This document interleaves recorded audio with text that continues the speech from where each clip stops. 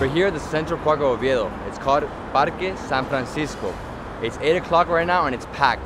Now let's go inside and enjoy the scenery. Follow me.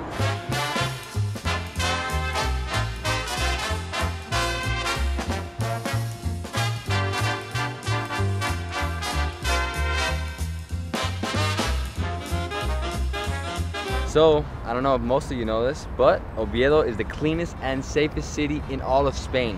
You will not get mugged here, and there's no gum, nothing on the floor. They have been rated number one for like 10 years straight for cleanliness. This is also one of the safest parks in Spain. This is Parque San Francisco. Where have you been?